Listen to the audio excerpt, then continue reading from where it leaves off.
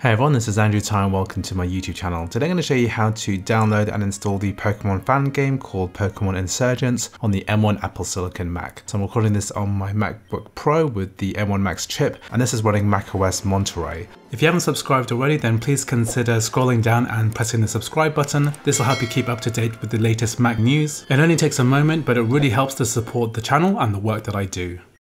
So I'm going to leave a link to the p-insurgence.com website. This is where the Pokemon Insurgence files are kept. And once we get to this homepage, we're going to click the download button here.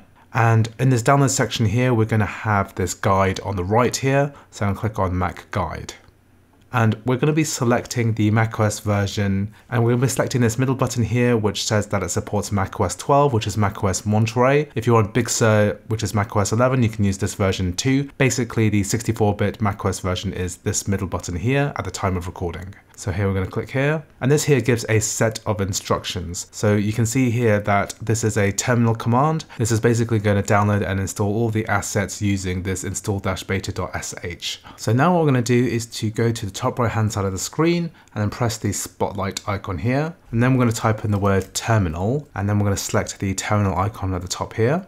And now we have this terminal window. I'm going to press the command plus key until we get this a bit bigger. And then what I'm going to do is to copy and paste this command. So I'm going to select the beginning and get to the end. Then I'm going to control click on this line. And then I'm going to click the copy button here.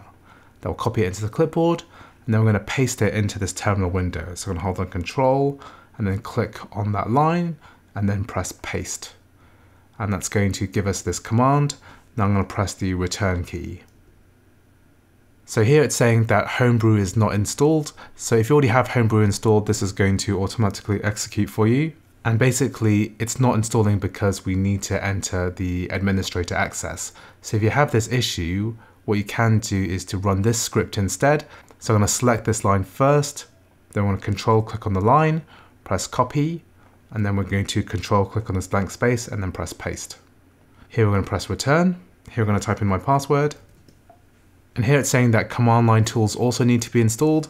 This is a larger file, so just be aware that this might take a bit longer. So here we're going to press return and just let command line tools install and homebrew install as well. So this is now downloading command line tools. So once command line tools has downloaded, it's going to install homebrew.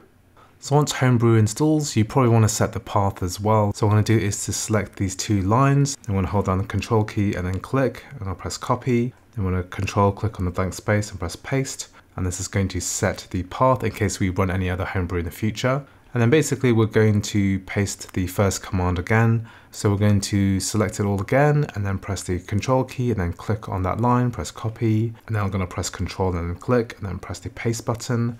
And here we're going to run the script from scratch. Here I'll press return, and now this is downloading the data from that script. Here it's installing Xqt and it's also installing Wine, so lots of things are being installed, a lot of the dependencies that this game needs. Looks like we're going to be running the Windows version of this game through Wine, which is a compatibility layer which allows Windows software to run on the Mac operating system. So here it's asking for a password, so I'm just going to type mine in. When you type in a password into terminal, you won't see any stars or anything, but it will be invisible here, so don't worry about it. All you need to do is to press return after you type in your password, and we'll go to the next step. So this script should create a shortcut on your desktop in order to run the game. And if this fails for some reason, what I'm going to do is to press the up key, and then basically run this script all over again. So the instruction here says that we now need to restart the computer and we will get the shortcut on our desktop once we've done that. So I'm going to close down my terminal and then I'll click the Apple logo here and press the restart button. So if the shortcut hasn't appeared, then that particular command has failed. So what I'm going to do is to go to the top right and then open up terminal again. And then we're going to maximize this window once more. And then what I'm going to do is to press the up key so that we load up the last command and we're going to load that script again. So you can see here that this is downloading other dependencies. This is the DirectX redistributable. This was not installing before, so I had to run that script again. So it just seems that this script might fail and you might have to run it multiple times and you might have to restart in the middle in order to get this to run correctly. But just keep persevering and we'll get there eventually. So now this is the Pokemon Insurgence core being installed correctly.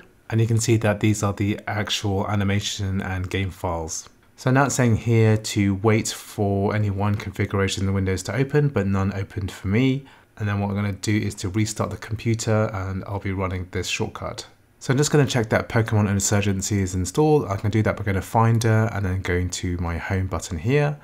And then I can see that PKM and underscore Insurg is installed here. And this is the kind of wine bottle for the compatibility layer. And what I'm going to do is to double click on the shortcut on my desktop. I'm going to run the command direct from my home folder.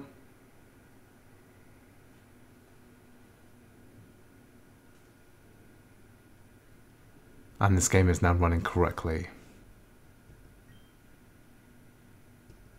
Just to restart the game with the fonts. So I'm going to press new game. Here I'm going to select the traditional storyline and press yes. So one thing you probably want to do is to go to options and then change the screen size. So you can go down to here, we've got the normal size here, large and huge. So unfortunately there isn't much that you can do to increase the screen size. I've actually tried decreasing the resolution scaling, but uh, this seems to produce some graphical issues in the game and sometimes crashes as well. So what I would do is stick to this huge setting for now and stick with this as a windowed game. Anyway, I hope you found this video useful. I've got lots of other video tutorials on my YouTube channel, so please check it out. If you liked the video, please like, please subscribe, and I'll see you in the next video.